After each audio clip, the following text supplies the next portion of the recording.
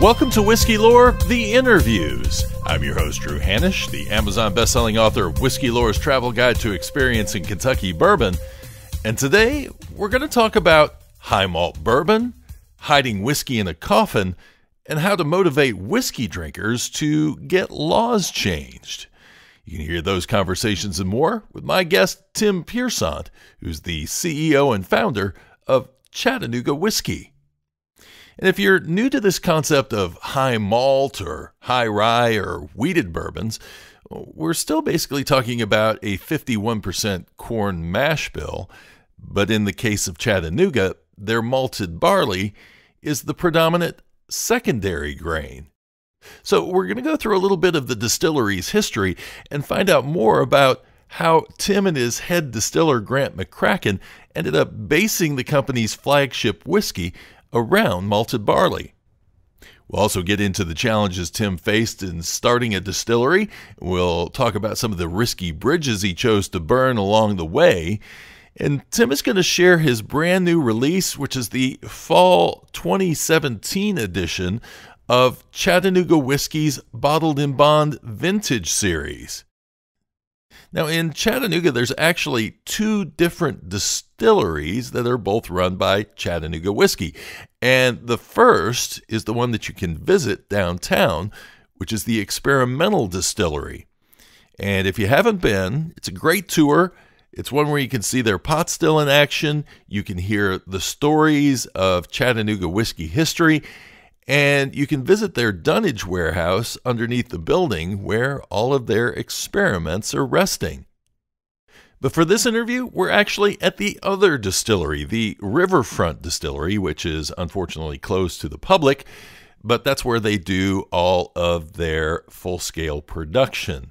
And Tim had just given me a guided tour, and then we sat down in their conference room and why don't we just get into this? A great conversation with Tim. He's a lot of fun to chat with.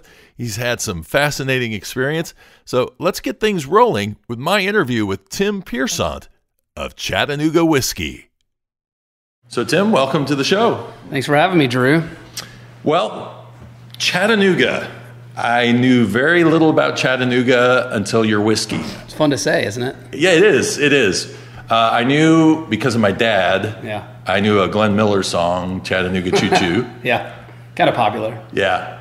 Uh, so that's always I drive through, I see the signs, and that's the first thing that kind of pops into my head. I'd say probably you and most. yeah, of course. I'm sure uh, less and less as everyone gets older. That's right? true. Yeah. Yeah. So I have been down to your uh, experimental distillery, which we'll talk a little bit about, cool. and of course the train is right across the street on the other side. It so is. Yep.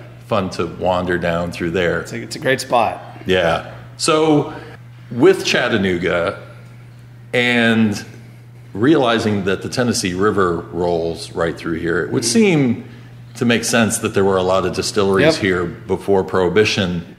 But did you know there were any distilleries here pre Prohibition? Not until 2011. Yeah. I mean, that was when uh, Joe and I discovered it.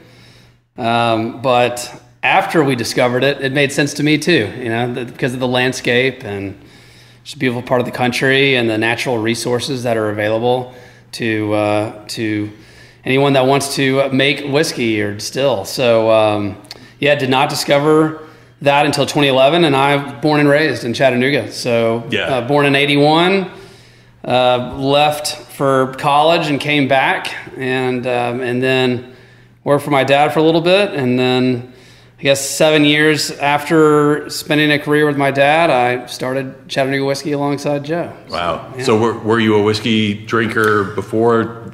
I would say that I was not. I mean, when I think of a whiskey drinker, um, I guess that has evolved what Yeah. a whiskey drinker is over over the last couple of decades.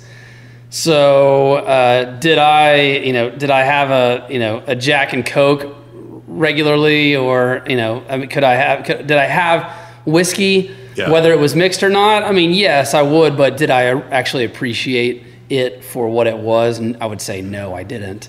Um, prior to starting Chattanooga whiskey, and so So what was it that drew you into the idea of starting a whiskey brand and then distillery? Yeah, it was the history, and uh, and my co-founder was more into whiskey at that time than I was, and kind of teaching me about it a little bit. And um, so we'd have a glass of Blanton's together, and you know, and talk about it. And we, but that was right when we discovered the history. It was uh, it was really exciting that no one had done anything with it. Yeah. we, shocking, really. Yeah. And um, seven years into working with my dad, who I love and respect very much, it just wasn't going to be my long term career. And I was living downtown. My wife and I were very much a part of the kind of the beginning of the revitalization of downtown, and specifically the historic South Side District, which is where the experimental distillery sits.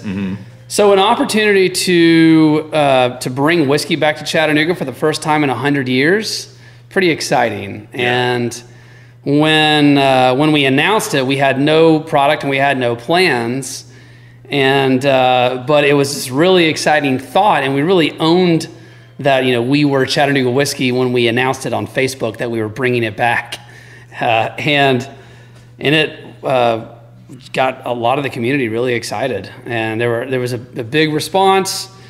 Um, and, and it just, I would say that was the beginning of the snowball effect where it just, our guts told us that this was, you know, this, this was meant to be uh, restored and it could be something really big. And we, every day brought us something new. And that, you know, when I was at the time 30 years old and uh, my wife, uh, you know, we were pregnant with our first child, and we actually, technically, had, we had our first daughter within a week of, or a couple weeks of starting Chattanooga whiskey, and uh, and so I was just very energized, and it just and it just kind of steamrolled from there. So, did you have a, a business plan in place when you made the announcement, or were you kind of uh, Nothing. jump jumping the? Nothing, absolutely nothing. In fact. I was playing music with our with our creative director, who was who was our first hire, and is still our creative director. You know, a, a decade later, and I remember after Joe and I discovering this and talking about it and saying, "Let's do it."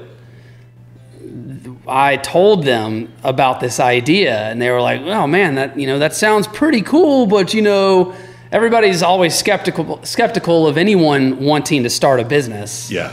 Specifically bringing something back after 100 years and not knowing anything about whiskey and then you know, that the the uh, the next day they saw that we had just Posted it. posted it and they were like what are you doing? They were really really they thought we were idiots for actually just posting it with no plan to do anything about it and uh, i don't know it's definitely become kind of a, a fun part of our history a part of our history that we don't talk about very much Yeah, but at that time, during that landscape, you really um, it, it was still not open throughout Tennessee to be able to do distilling. So, that's correct yeah how soon after that did you go? Oh crap! What have we done? And is there ever going to be a chance for us to actually come through with this? Yeah, I don't really recall exactly the the time uh, the timeline of my of our of our realizations on that. I definitely remember not knowing the depth of the laws around distilling in Tennessee when we started Chattanooga whiskey. We kind of found out. I, I want to say maybe we didn't even know about it even before we posted it. We posted and then we started uh, learning that it was illegal. But even the even as we learned it was illegal, those laws were very unclear. Mm-hmm. And so it launched us into while we were, you know, it launched us into a lot of research on the laws while we were, you know, putting the pieces together to be able to sell Chattanooga whiskey, which meant that it had to come from out of town. Yeah, and and and so the networking began and therefore the lobbying began. And uh, and then that that was really one foot in front of the other. Uh, eventually realized that it was pretty it was it was going to be complex because of the lack of information around it. Uh, really no one it was i mean it dated back to prohibition. Like Yeah. nobody really knew why um, until we kind of so we were lobbying locally, and then eventually, um, you know, as we were met with headwind, uh, and the and the county didn't want this blood on their hands. They really thought that this was going to create a massive issue Yeah. for uh, the you know the this, the community. They didn't want to be the guys that said, "Yeah, we're going to let a couple of thirty-year-olds bring whiskey distilling back to Chattanooga for the first time in hundred years." Yeah. they didn't want that liability, though they were willing to vote on uh, allowing it if the state approved it. Okay. And so, so put it on somebody else's they put back, it on the state, and then Yeah. you know, at that point, it just became a bigger, it became a state issue, and at that point, we got in touch with uh, Joe Carr, who wrote the bills for um, the 2009 law change, Mm-hmm. of which uh, many counties, uh, ex, you know, were adopted or adopted that Yeah. law, but This this was putting it in the hands of the actual counties to be able to That's right. opt in or opt out. In 09, yes. And that is why it wasn't the majority of the 95 counties in Tennessee that opted in in 09. And that's why our law was so much more challenging. Because you had a county that didn't really want to take that forward. So step. not not just that, Yeah. but we had a county representative that fought it in 09 probably harder than anyone. wow. And he was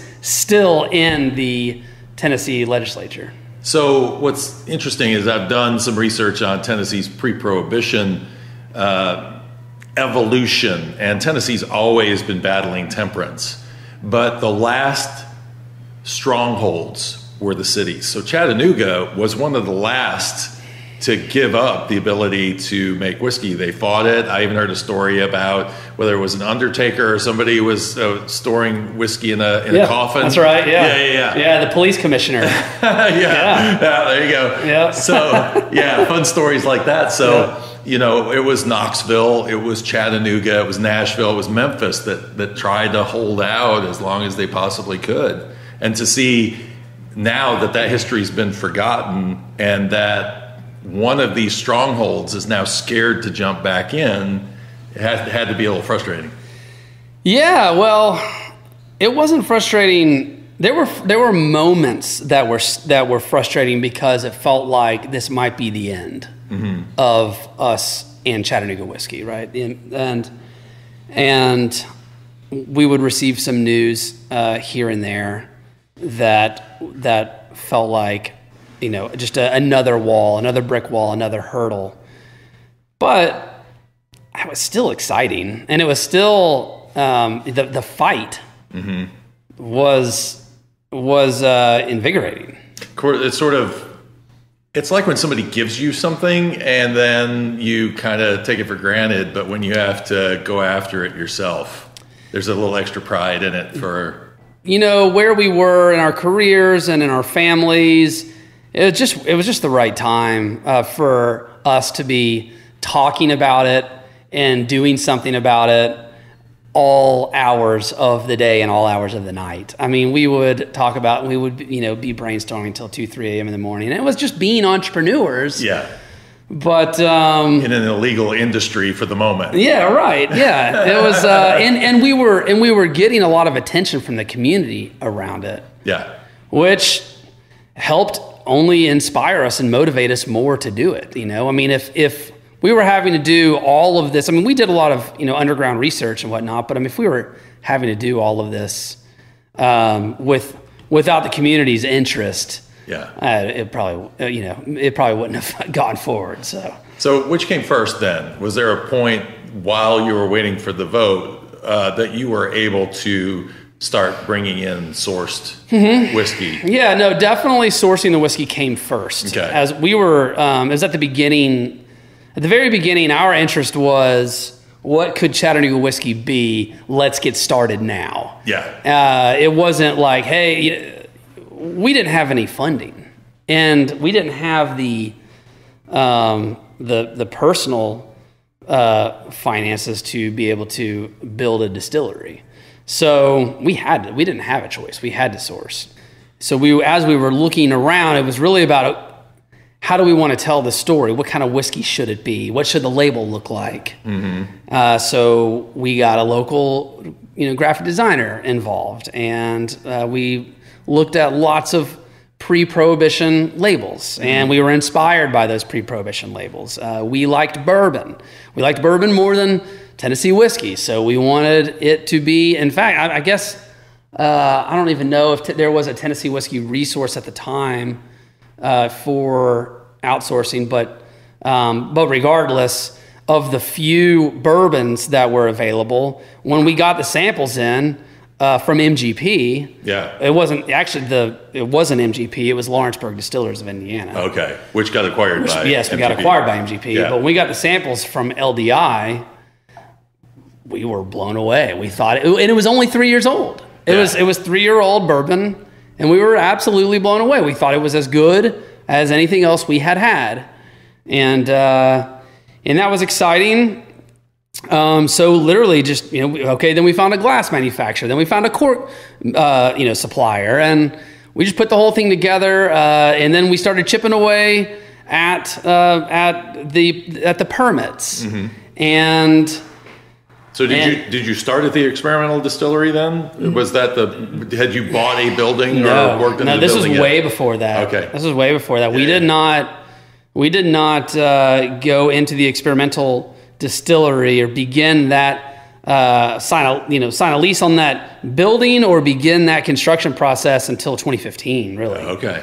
um, or I guess you could say late. We so we we started distilling there at the end of March. It was March 27th of 2015. The only reason I know off the top of my head that it was March 27th Yeah. is because we started distilling here at Riverfront March 27th of uh, Nice. it was really fun. It's, It it's all weird here, yeah. weird how it landed on the exact same day. Yeah. Um, but that was in 2017, of course, for Riverfront. So, so anyways, yeah, this is 2011, and um, we got everything packaged together. Um, we started interviewing uh, distributors, and we started with Chattanooga, of course. And Athens, Chattanooga was really excited about what we were doing. And there were a couple of distributors in town that were not excited about what we were doing. They didn't think we would be anything. And to this day, I still hear from time to time that uh, that they're pretty upset that they that they didn't get us. Like, "Well, that, that was your fault, not our fault. So Athens, uh, Athens Distributing was our. They were excited about it, and we got our licensing, and we got our first PO, and uh, and and then we we set up a launch party, and the launch party was in April of 2012. Uh, we had a Kickstarter campaign that we were trying to raise money to Yeah. build a distillery, which uh, we barely got the money in our Kickstarter campaign. It was it was ten thousand dollars, Yeah. Ooh. uh, which you could do nothing with in terms of building a distillery. yeah. Uh, we our cork supplier couldn't get our corks to us in time, so we ended up putting wine corks in the bottles. Wow, okay. Instead of So these are collector's items if anybody can find well, them. that's the reason that we have a one-piece cork, even though this is a custom cork now that's Yeah. in our new packaging. Yep. It was inspired by the wine cork Oh, that we were forced to use because uh, because we had set this launch party up, and so, anyways, they, on we went, and then then we got serious about the laws after that. Yeah. After we launched Chattanooga whiskey into the market. Okay. Yeah. And and how was Chattanooga received at first?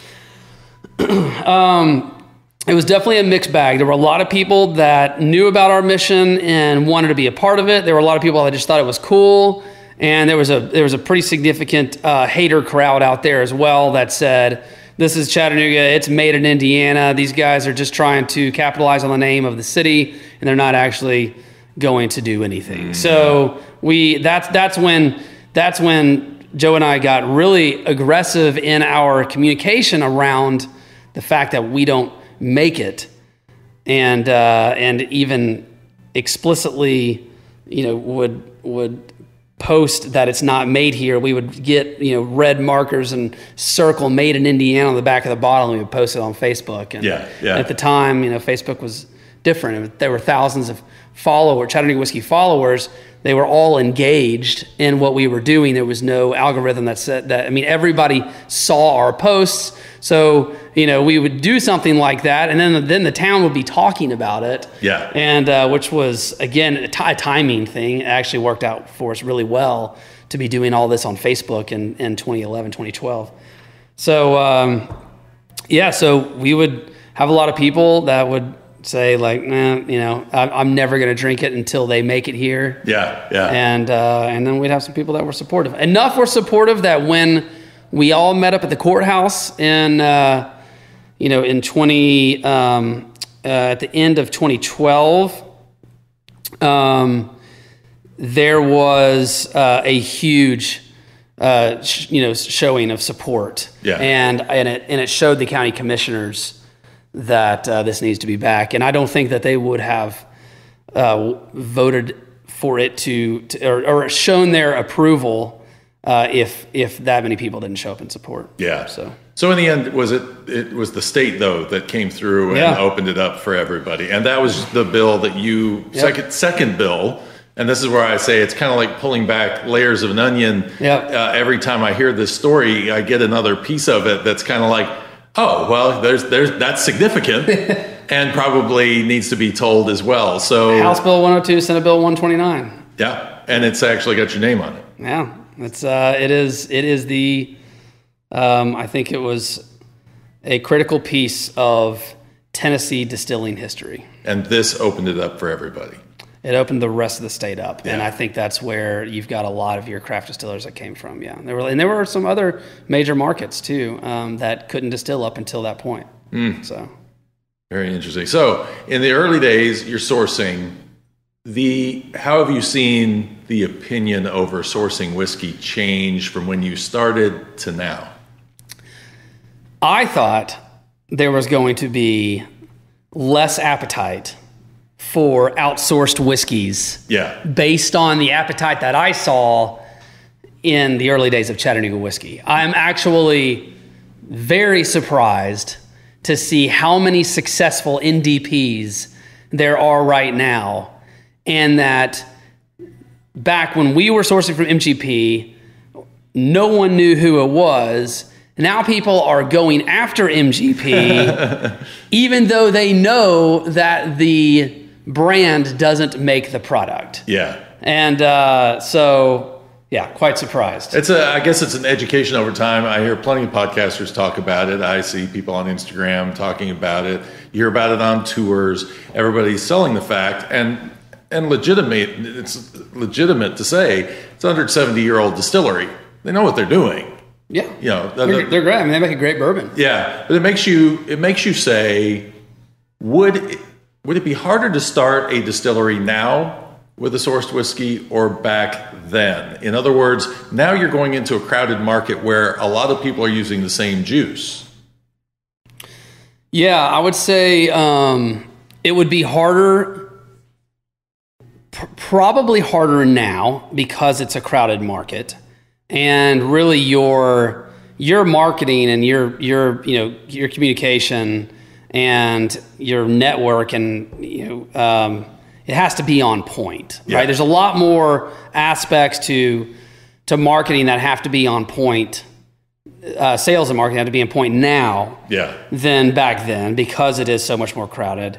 Um, so yeah, I mean, I would say, uh, I would say, yeah, now harder, but more accept. I mean, you can one thing you can kind of rest a little bit is that we're not going to meet the headwinds. We can probably do this for a really long time. Yeah. sourcing without having to build our own distillery because this and this is where I get on my pedestal, and I'm not gonna I'm not gonna stand here on it, but like to do it yourself is really hard, yeah, and uh, in most I would say m- most people probably aren't prepared for what it's going to require financially, um, as well as scientifically. it's it's risky because you're putting something into a barrel you have to wait for, and if you don't do it right.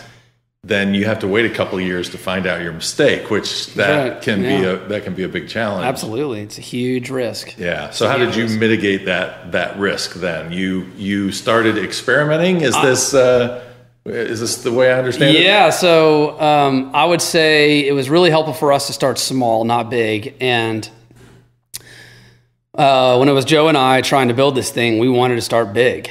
And we didn't want to start small. And we kept on, uh, from, a, from a business perspective, from an operational perspective, we kept on running into walls preventing us from starting big. And it was the best thing that ever happened. Well, the best thing that ever happened to Chattanooga Whiskey as an organization um, was that we were really forced to start small, and uh, and that allowed us to take risks from a product perspective that we wouldn't have otherwise taken. Yeah. So having a starting off on a 100 gallon Vendome pot still and three 100 gallon fermenters and a 100 gallon cooker, we could only produce uh, approximately one barrel, 153 gallon barrel of bourbon a week. And uh, meanwhile, we had enough MGP to be selling and and to be generating revenue and uh, and to be building a brand well enough to raise capital. And so we went through several, you know, capital rounds, um, which, you know, again, from a business perspective, I could go into. That'd be a pretty large, uh, you know, tangent. But so we we felt more comfortable taking risks. But even when we were taking these risks, we didn't know what the product was going to taste like Yeah. two three years and we were we were basing everything off of white dog to begin with it, whether we liked it or not Yeah. you know and um, and we had there were at- in the very very beginning there was some white dog that was just like this doesn't this doesn't this isn't appealing. And then you'd have we'd have recipes where white dog was really appealing. And then we then we started building a tighter framework based off of that, even though the framework we were building uh, had very, you know, only had a little bit in common with a traditional bourbon like MGP.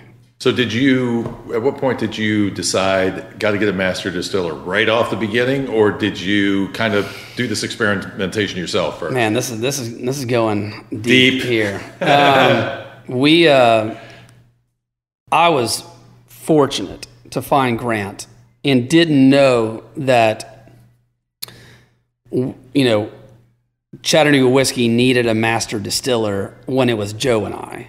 Yeah. Um, one of us was going to be the distiller, and then we, you know, we we as we hired some other people with marketing to help us with operations. Somebody, you know, one of them kind of kind of knew how to brew beer a little bit, so somebody was going to be the distiller. Yeah. And then, um, and then once Joe exited the company, uh, to me, I, I, I felt like we had to have somebody that knew what they were doing, um, even on a smaller scale. Uh, even, th- but I wanted it to be larger scale Yeah.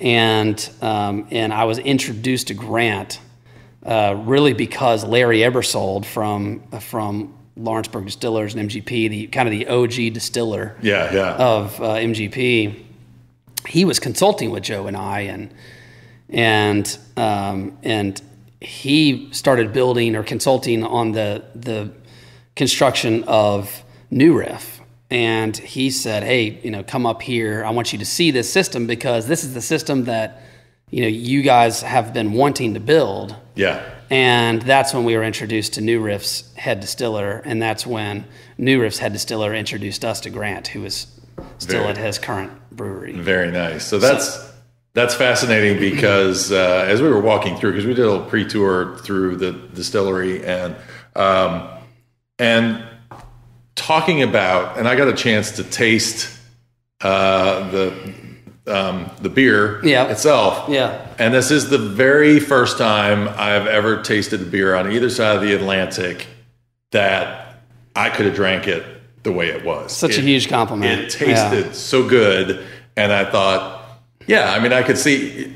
What I loved is on the New Riff tour, they they say, you know, we thought the beer was important, and that's why we decided to get a brewer in making our beer before we converted to to whiskey. And I thought, I mean, that's so. It's like thirty distilleries in in Chattanooga. Tennessee River, duh. You know, Yeah. why would you not want to come up with a brewer to Right. come in and make your beer Yeah. to make your whiskey? Yeah. So yeah, I mean that's uh, that's that's fascinating and, and fun to see how that works. Yeah, I mean, uh, for when I when Grant and I we had a phone interview. We didn't, you know, he, he ended up coming to Chattanooga, and um, and our wives hung out and hit it off, and uh, and they were at the beginning of uh, of starting their family as well, and um, and kind of you know we're the same age, and he was really passionate about um, our history, our short history of changing laws, and and you know was a certified distiller even though he was brewing every day, and was becoming more and more interested in that, and I think primarily because, um, you know, he really is a creative genius, and he saw that there was an opportunity to make a difference in the distilling industry, and uh, and do it in Chattanooga, Tennessee. Pretty cool town to do it in. Yeah. Um, with a company that has that started off with a pretty interesting history of changing changing laws, and Well, he had to see some commitment there for sure. yeah, I mean he uh, he did, and um, I think we just instantly trusted each other, and he was a very trustworthy. I could tell he's a very trustworthy person, and and he had a great track record, and um, and man, it's the best decision we ever made in the history of the company. And and and even when he said he wanted to, you know, really explore high malt, when we had been all my my my focus was generating revenue with MGP, you know, Right. and so that was really uh, outside my, you know, I won't I won't necessarily say my comfort zone, but uh, certainly outside my level of knowledge. And I just I just said like I knew that this guy could do it. Like, I knew he could do it. And, So- yeah. So was there a point where because it's probably more recent that people have started shifting to American single malt instead of doing. So was there ever a question b- between should we do a bourbon that's a high malt, Yep. or should we do Yeah. a single malt? Yeah. Yeah. Yeah, actually, uh, single malt crossed our minds. Um, malted bourbon crossed our minds. It's never been done before. We started malting corn, uh, utilizing malted corn. Um, even our maltsters were like, uh, I don't know about this. And uh, and it is it actually is really challenging to malt corn, and, malt, and malted corn does not have a um, actually doesn't have a great flavor profile. So fortunately, we didn't chase that rabbit very far. We Yeah. started to.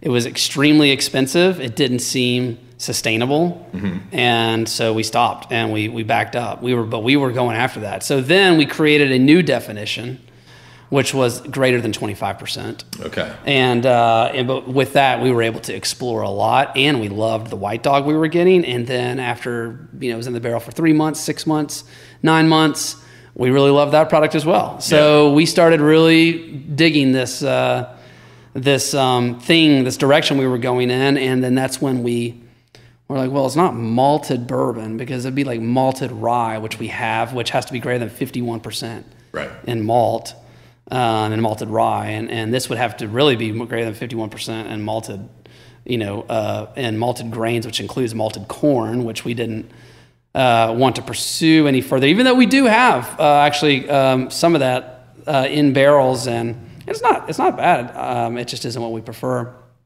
Um, so the 25% plus thing uh, became it, and we coined it Tennessee High Malt, and we trademarked it. And so that that became our, like I said, you know, earlier about building the framework tighter and tighter. Yeah. Uh, that became our framework. That was the piece, and because Yeah. no, I'm, I don't know anybody else that's really doing high malt even now, other than There's not a lot out there, um, and I and and we we keep our blinders on pretty. I mean, Grant Grant really keeps his blinders on do because what you do and do it well. That's right, Yeah. and that's and uh, and Grant and I are very much in lockstep on that. But Grant um, really believes that uh, that he can continue to you know develop and create products that are unique to Chattanooga whiskey without having to you know keep his eye and or finger on the pulse with everything else that's going on. Yeah. Whereas just being in my position as a founder and CEO, I feel like I need to keep my finger on the pulse a little bit more. yeah. So I see some of what's out there, but I will. I think that uh, in terms of exploring malts in bourbon, I don't think anybody's even come close to what Chattanooga whiskey has done. So I got a chance to taste the white dog off the still, and um, it was surprisingly complex. And I was getting caramel notes. I'm like, okay, that's uh, that's unique. It's coming before the barrel. Yeah, right. And right. so, uh, and there's dark chocolate in there. It's a lot of stuff that I like in the 111. I was pulling Yeah. that out of there. Yeah. So it's it, it says a lot when you can take it off the still. And I appreciate that. Yeah. And and there's um there there I know that there are some people out there that uh, that don't put that much emphasis on the white dog. They don't they don't taste white dog and say, "Oh, you know, this is this is going to be a good bourbon." It's really almost like, "Well, we'll just see if it's a good bourbon or not." yeah, And because of what we were forced to go through, we just don't look at it like that. I mean, we have tasting panels internally where we we taste, you know, different white dog batches against controls. Mm, okay, So we care very much about what the white dog tastes like. yeah. Yeah. Yeah. So you now have the experimental, Yep. and you got a it's a hybrid pot still that you have over there. Yeah, so it's a it's a I mean I I, I just for simplicity I call it pot still Yeah. because compared to a column Right. it is it is a pot. yeah, um, a batch system, one in, one out. Um, but yeah, it has a column on top of it that has four plates, right. which just which just helps with the you know uh, controls and efficiency of the, of the pot still. In other words, you're not looking for heads and tails in that you are pulling from a specific range in the whiskey that you want to. That is correct, um, but, but but we do, of course, you know, uh, we are mindful of heads and tails over there versus on a column. Yeah. where I mean everything goes back. It's it's it's the heads and tails are like two percent. Yeah. So that my question is, you come up with something really great over on the smaller experimental still, Yeah, and then it changes. and then you have to bring it over to this large, yeah, and you- beautiful and you, still. can't and you can't possibly make exactly the same thing. Yeah. Yeah. What- what- I mean, what is the challenge with that? Is Oh, it just it's- a It's a challenge, but but um, one that's worked out for us. Um, the pot still creates, uh, you know, we call it. I mean, it's it's complex and grungy can have a negative connotation, so we wouldn't use that in our marketing. but well, I guess we're sitting here talking, and this will be utilized for marketing. It is. It is just grungier. It's got more going on. yeah? Um, and the See, we use complex. yeah, that's yeah, complex. It's, it's, it's a lot more complex. It sounds more beautiful than gr- right. I mean, but but uh, but there's something about the rawness yeah. of that operation, and that's still that says that that is that's it's it's it's super crafty. Yeah. and um, everything that we've scaled up has just become more approachable. Mm. So we take the things that we love over there, Yeah. and then when we scale them up to the column and the pot over here. Everybody agrees that in terms of the general public's opinion, it's going to be a lot better received Yeah. than than over at the experimentalist. Although the experimental distillery has a cult following on our products that come out of there, and the products are really good, and they're you know they're getting older as well, which people like. Um, but the recipes are quite different. The flavor profiles are quite different, and really exploring bourbon and high malt bourbon on a hundred gallon pot still. Uh, if you want to explore it, it's I think we do it first class, and they're great tasting products. But to the to a much larger demographic and and uh, and consumer base uh, in our four, in our dis- distribution region of 14 states, what comes off of the column and the pot at Riverfront is going to be well received uh, because it's going to take a bourbon enthusiast to really appreciate what's coming off of the pot. Yeah. Yeah. That's interesting. So over there, you have um, a lot of experiments in your little dunnage warehouse down underneath. Yeah. The, bar- the, old- the, the underground barrel cellar. Yeah. Yeah. What's the craziest thing that you've made that's that's aging down there right now? Mm, man, I, I, I lose track because um, really because we've we've got over 350 experimental barrels that we've done, Wow. and we've released now I think between what we've released there and and our we scaled up more than a dozen recipes at Riverfront as well. So between the two locations, we've released now over 50 into the market. Wow. So uh, the tequila barrel finish, uh, you know, with um, with significantly different high malts in it, uh, you know, honey malts, caramel malts, um, you know, just different roasted, toasted malts in there, um, was one of my favorite experiments. It was just, you know, it was XA tequila. It was a high quality tequila barrel. It had spent, I think, seven months in the barrel. Um, you would think, you know, pretty contrasting flavor profiles, but the way they worked together was just dynamic, really dynamic Yeah. and uh, and a lot of fun, and almost felt like its own category, you know. Yeah. Um, Because I like to explore uh, with you know between scotches and Irish whiskeys as well, and uh, and I was almost like, man, this could like be its own thing. so we're still looking at that, and we've done a lot. We've done some Islay finish stuff with uh, with you know uh, Simpson's peated malt. Um, we we utilize a decent amount of that for for a what we call a, uh Scottish style uh, bourbon, and it, it's done. It's been really well received. It's done really well, and these different Islay you know Islay barrels have uh, performed really well, and it's been fun to watch that. Um, you know, apricot brandy uh, barrel. Um, you know, obviously the tawny port. I mean, we've done a lot of different things. So, I, I, I guess I, I just thought the tequila barrel was really cool. Yeah. And worked with our high malt recipe really, really well.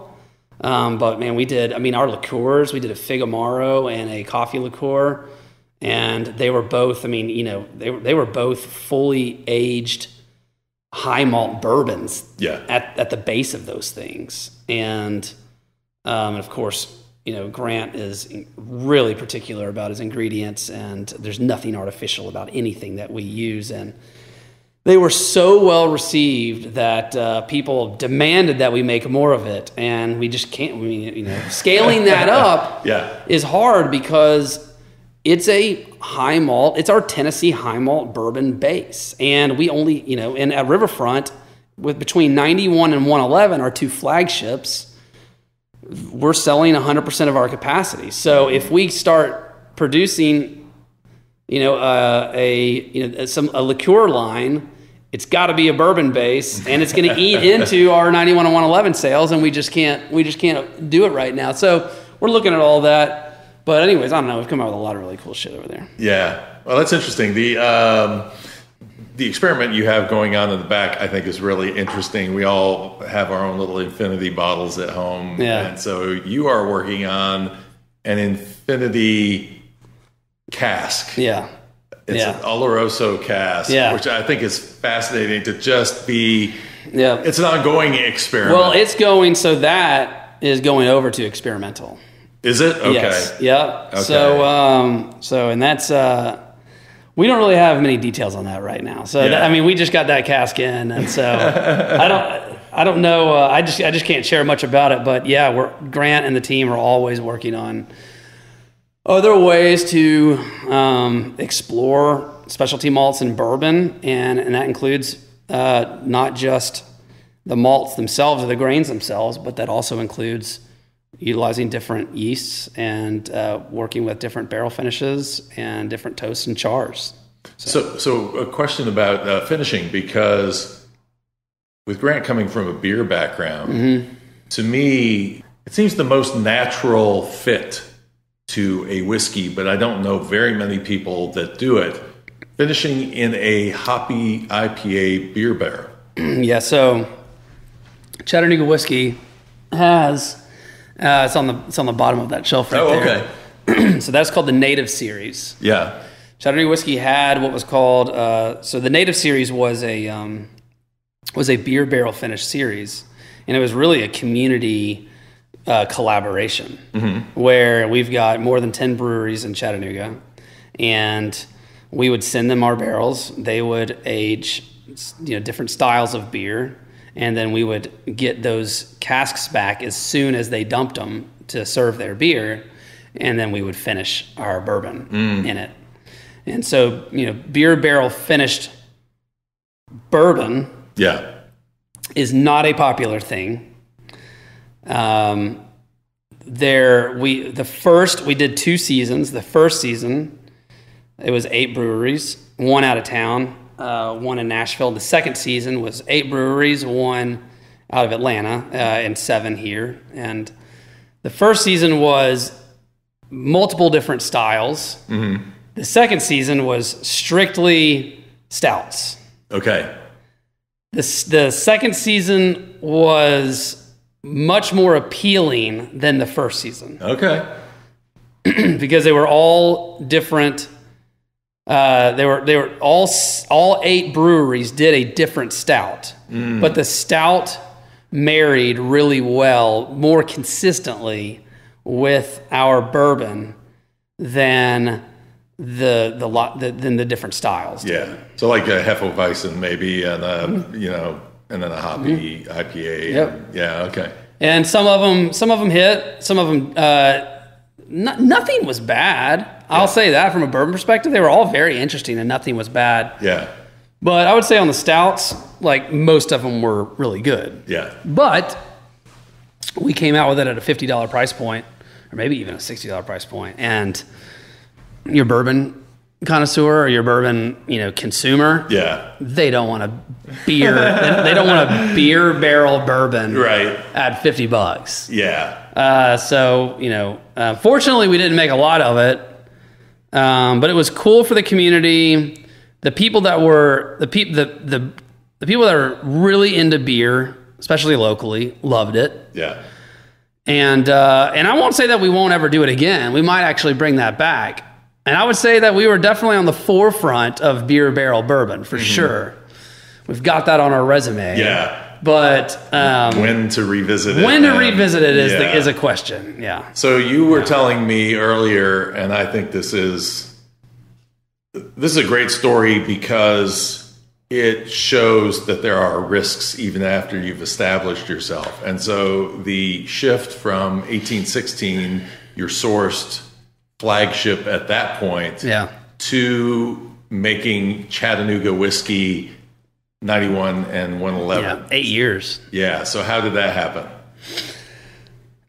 Well, we had already committed to barrel number 91 being the recipe that we wanted to f- scale up as our flagship. That created both 91 and 111. So we committed to that uh, in 2017 when we commissioned our still.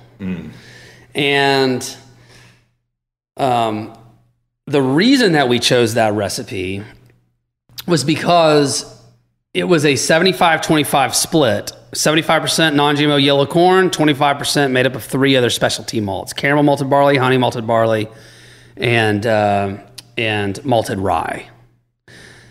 The MGP recipe was 75% corn, uh, but it had 21% rye in it. Of course, the rye was not malted, Right. it was raw rye yeah. but uh, even a smaller percentage of malted rye is going to stand out uh, compared to a to a larger percentage of raw rye. Yeah. So we were definitely inspired by this recipe to a degree, even though we did we did a lot crazier stuff than that. We were like, all right, we need really a a balanced approach here it, within our, our world of Tennessee high malt. Uh, because we don't want to send our consumers that we've been working on for all these years packing Yeah. because it because we alienated them with something that was polarizing compared to 1816, right? So I want I don't want to say that we just denied our roots. We very much cared about the bourbon that we had been selling and wanted to move from there. That said, it was different, a mm-hmm. lot different. Yeah. You know, it's not like just going from a still in Indiana to a still in Chattanooga You're right. is it, which would be different as well. Yeah. But this was way way different than that. But it was it was what we wanted out of a bourbon. What we wanted out of a bourbon was dark notes of dark chocolate and this roasted toasted profile, this s'more profile, you know, chocolate covered cherry profile, a little bit of you know, red fruit in there, or maybe even a little bit of apricot in there. Like that's what we were after. We were after deeper, darker, richer, more complex. Like that's what we wanted. Yeah. And we felt like 91 was the best representation of that while still being a straight bourbon whiskey. Okay. And so yes, it was a huge risk. It was a it was very calculated. Because you just shut off 1816. And that was the risk, right? And Yeah. and but it was a, such a different product. We were like, we cannot put this in the 1816 bottle, Yeah. right? It has to be its own thing. Not to mention, so many people we had been fought for so long. It's not made here. It's not made here. It's not made here. We're like, you know what? We're going to emboss this bottle, and we are going to put "Made in Chattanooga, Tennessee" as, as you know, so you can see it from a mile away. Yeah. So um, yeah, where I where I'd say I just don't know of anyone else that has done it like we have or taken this this type of risk like we have is we were outsourcing, we were an NDP, we built up a multi thousand case brand over a, an eight year period and we completely ripped the band-aid off. We hit the stop button Yeah. on that product um, in 2019, and when we felt like 91 and 111 were ready to hit the shelves, which was early because uh, it was a younger product, comparatively speaking. Yeah. Which I can talk about that as well. Yeah. But it doesn't matter. We we tasted it and we said It's ready. this is ready. Yeah. And we uh, and we you know stopped 1816 and started 91 on 111 and that was in August of 2019 and um, I think Chattanooga whiskey would not be anywhere close to where we are today if we hadn't done that. But yeah, was it scary? Yes. yeah. And if I had, I think I told you that if I had uh, some uh, investors or board members that were, you know, had that had significant spirits uh, experience or branding experience standing over my shoulder, Yeah. watching every move that I made, I don't think it would have ever happened. Would have shut it down. I think yeah. it would have been shut down. Yeah. Yes. Wow. Yeah. Yeah. Well, yay for the uh, small craft distiller uh, having a voice. Absolutely. I mean, I'm really proud of uh, the risk that we've taken. I think it's become a huge part of our story. People, you know, when we're when we're giving, if, if we're you know giving tours, and or if I'm if I'm giving a tour, like you know, with you today, um, you know, there's there's a lot of different elements. There's the uh, there's really you can almost look at it in like two year increments, right? I mean, there's the uh, the changing of the laws, and then there's the there's the uh, building the experimental distillery, and then there's the coming out with what came out of the experimental distillery, and then there's the building of the riverfront distillery, and then there's coming out with what came out of the riverfront distillery, right? Well, one step at a time, but you, you get a little caught up and then you move on to the next step. Absolutely, but but when I look at those phases, Yeah. and I look at that history, the the the law changing is a cool part of who we are, but it isn't. The whole story. It's not even not even just the whole story, but for me, it's not the thing that I'm most proud of. Yeah. The thing that I'm most proud of is the risk that we took on Tennessee High Malt and the ripping of the band-aid off of a product that is now so that people are so fond of. Yeah. But that I would say that, you know, especially for our team, um, not only do we enjoy 91 and 111 or this Tennessee High Malt flavor profile so much more than we enjoyed our MGP profile, consumers are really catching on to it and consumers are really enjoying it too and uh, and flavor profile and, and palates are shifting Yeah. and evolving just like they did in the beer industry to, towards ipas It's interesting to see how they are kind of following the same same path. absolutely Yeah. um, and now here we are we've been working on it it's 10 years feels like a lifetime I bet. uh, it's my entire th- i just turned 40 so from 30 to There you 40 go. uh, so a whole decade of the whole uh, decade of my life but So let's talk about the uh, before we get to what the next step is because there's stuff coming. Um, let's talk about the 91 and 111 because right now we're tasting something that you pulled out of the Solera. This is the first time I've seen a Solera Yep, up, yep. up up close and personal. Yeah, right. Basically, a huge. Is it Cypress? so uh, no that is actually white oak It is white oak. Okay. Yeah, so that is a 4,000 gallon white oak Solera barrel, and it has a char on the inside of it too. Does it? Okay. And do you have to rechar it? We do not. No. Okay. The, the plan is for that to be a forever barrel. Wow. Yeah. Okay. And so we're tasting. This was what 118 Uh, approximately 118 proof. of, Yep. of the 91 Of the 91 recipe. recipe. Yep. Yeah. So again, four grain, three specialty malt And it's recipe.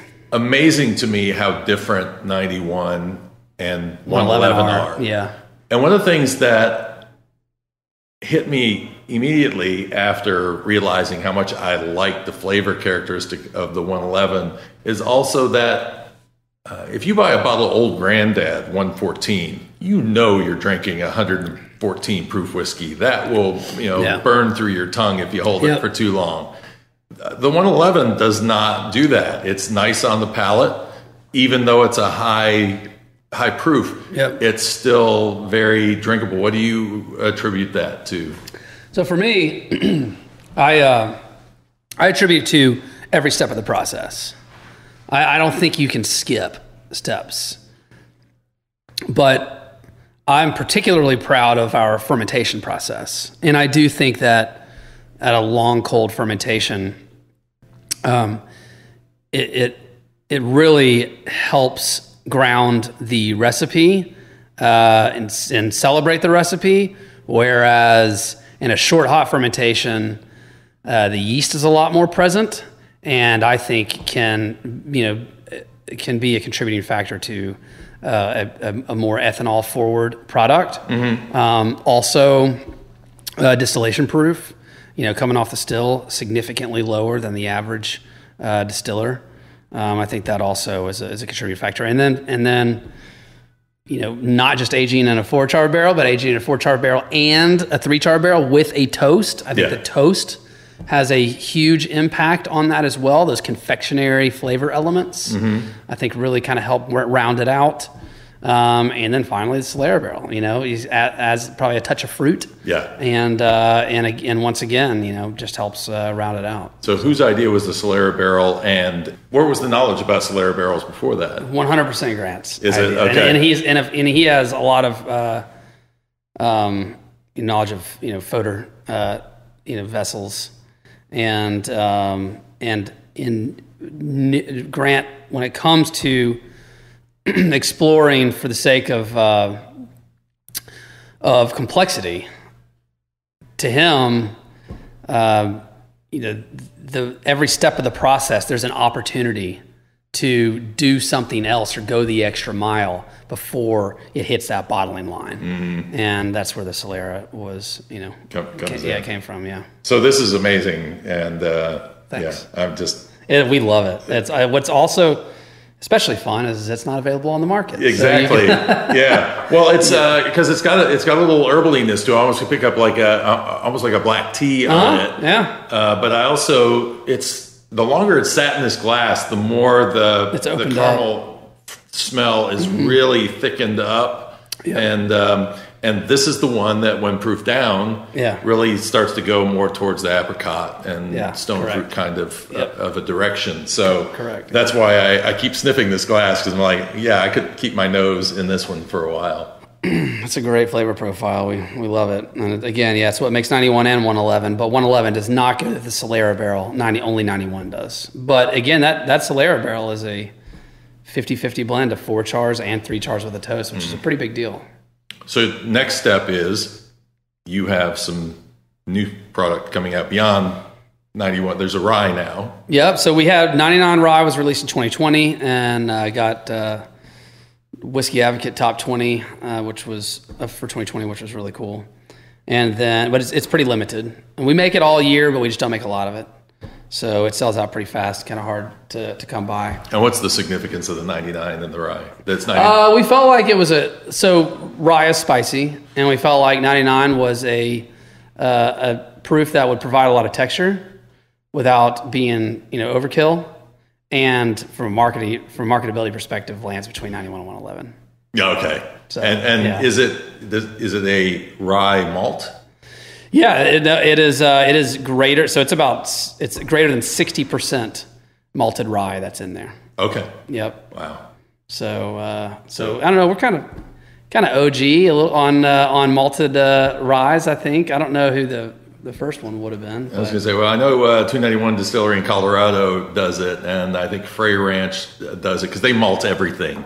They've gotten to a point where they're just, he's got his own farm. Yeah, right. Yeah, yeah. So um, our our the 99 rye was inspired by batch 007 out of the experimental distillery. Okay. So so we started distilling uh, malted ryes in uh, in 2015.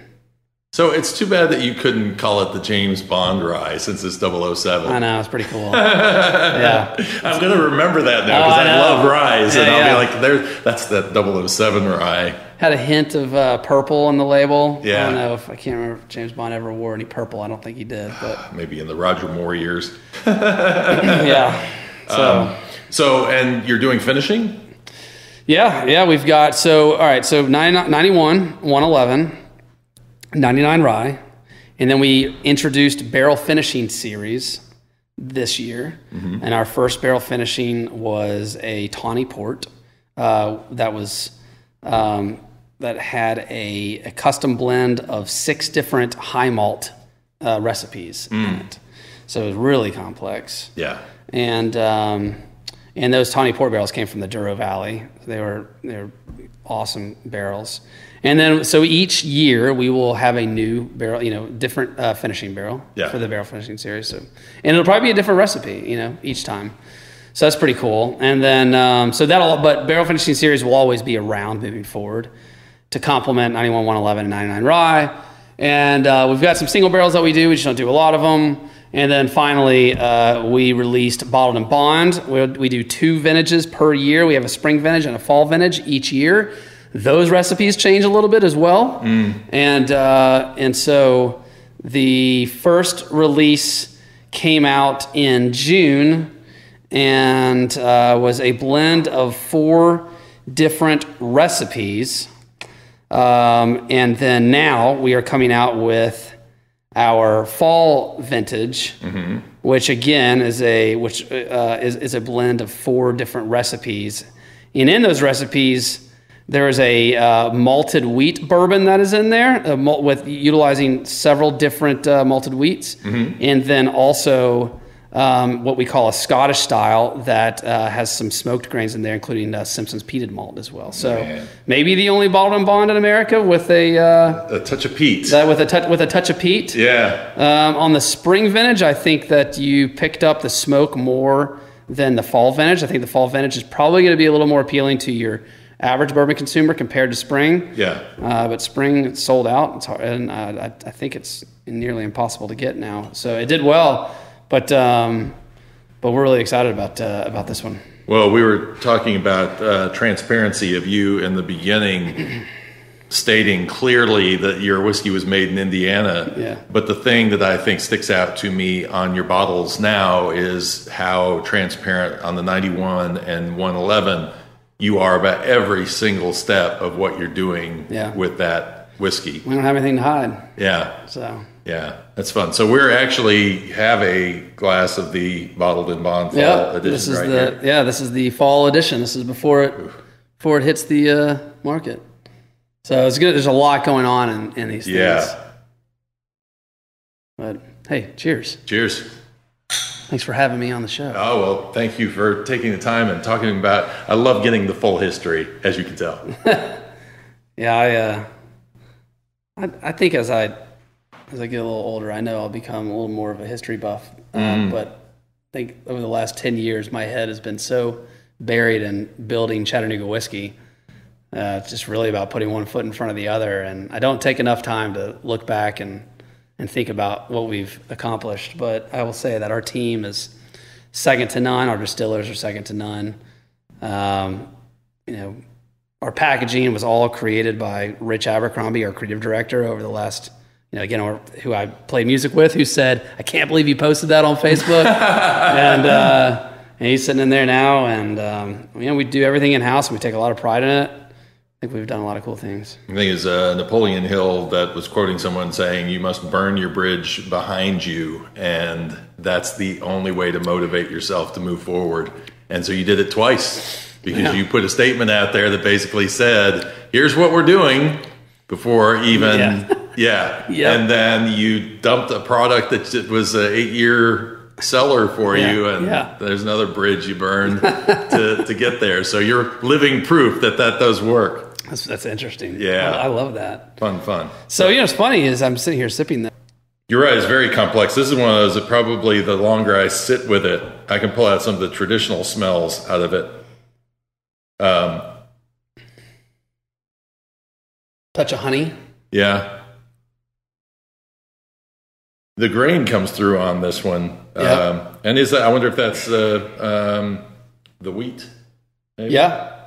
No, I mean, well, you know, wheat's a softer grain, but uh, when you malt it, it's um, it's quite butterscotchy. Yeah. And I got a little, uh, I got a little cherry in there too, and sort of a, Mm-hmm. there's like a wine characteristic to that. I It's funny that you say that because um, we got that feedback on our on our spring vintage a Yeah, lot. yeah. a lot of people said that it had a wine characteristic. Yeah. I still get it in there. I mean, it's still a whiskey. You can, uh, it, it has the whiskey characteristic stand out the most, but, uh, yeah. And you get, uh, you get the, the oak comes through on there as well, but it's, it's not musty oak. It's, it's but it's not really even, uh, a, a sawdust kind of a, of a Right. smell. It's, it's somewhere in between, you know, it's there. It's nutty. And uh, you, if you inhale a little too too quickly, the uh, the alcohol tickles your nose, but Yeah, you don't right. really smell the. Uh, no, it's not not very ethanol forward. yeah, yeah, very nice, excellent. Well, thank you so much. Yeah, for, of course, man. Again, spending so much time and the tour of the distillery was fun to see. I've been to the one downtown now, seen the experimental, heard some of the stories. I think that's where I heard the story about the coffin uh, and, and storing whiskey. Yeah. So pick up these little stories, and I'm like, where did I hear that? I know somebody told me that story. We're not, we're not doing that any longer. Yeah. we never did that. Although, kind of uh, kind of cool, kind of a cool concept. Well, maybe one of these days, because it's funny. I, I did research on a town called New Hope in Kentucky that had ten distilleries pre-prohibition. A town that nobody would think Yeah. if you drove through it today, because it's mostly a ghost town Yeah. looking. But yeah, I mean, railroad went through there. Ten distilleries got the names of all of them. That's cool. So you've got that now for Chattanooga. Yeah. Now it's finding how they tie into the rest of Tennessee Right. whiskey. Yep. Yeah. Yeah, more than thirty distilleries and less than thirty thousand people. So That's yeah, that's amazing. yeah, Well, it's location, location, location. this town is uh, is, is becoming a, a really uh, hot town for people to move to and visit as they're discovering the importance of the outdoors. yeah, and Chattanooga's got it. You know, right in the middle of of uh, the, some of the best rock climbing, uh, rafting. Rock, Rock City. Yeah, Rock City. Yeah, yeah, right. Since I was a kid, Rock Yeah. City every time. Yeah, Rock City and the Choo Choo. Those Yeah, are your two yeah. major destinations back in the day. But now, I mean, now you got people moving here from all over to, to rock climb and uh, and to paddle and to fish. Um, it's it's and to mountain bike. It's pretty amazing. This is an amazing little uh, community, and it's growing like crazy. I think we're about to. I think I read somewhere we're about to pass Knoxville as Really? uh, Knoxville's population. Yeah. Okay, So you're gonna have to get more than one freeway through the middle of town. that, that- don't even get me started on that. I can't, I can't. You can't get out. You can't get in. That's kind of you know not, maybe not a bad thing. It's Hotel California. Uh, maybe a lot of people will uh, will just be like, you know what, like. uh, We tourism is really important for us and our business, so I definitely want people coming here. But no, the, the freeways right now do not make it easy. yeah. Well, hopefully, maybe someday they'll figure Well, I don't out. know. We're locked between a mountain and a river. It's pretty. It's a pretty narrow passage. Yeah. so. Well, with millennials that, that wanting to not drive as much, maybe the train will come through here, and we'll we'll have a true Chattanooga choo choo. Uh, we have so many covered up train tracks under these uh, un, under under these roads. Yeah. It's uh, I mean even through my neighborhood that I, where I live downtown, it's really um, it's it's kind of sad. I'd, I'd love to see it come back. Yeah. Be fun to see old pictures of that. Yeah. And and how it was down here. Yeah. Awesome. Well, again, thank you very much. Just Yeah. sampling some really great whiskey and, Awesome. and great conversation. Yeah, thanks, Drew. Appreciate it, man. It's been a delight. Uh, Anytime, come down, hang out, and we'll get into some other experiments that we have. Awesome. Yeah. Thank you. Thanks, man. If you want to learn more about Chattanooga whiskey, just head to ChattanoogaWhiskey.com. Check out my tasting notes for this bottle of Bottled in Bond, along with show notes, social media links, books, swag, and all things whiskey lore at whiskey-lore.com. If you enjoyed this episode, make sure you're subscribed and tell a friend about the show. I'm your host, Drew Hannush. Have a great week, and until next time, cheers and slàinte mhath. Whiskey Lore is a production of Travel Fuels Life, LLC.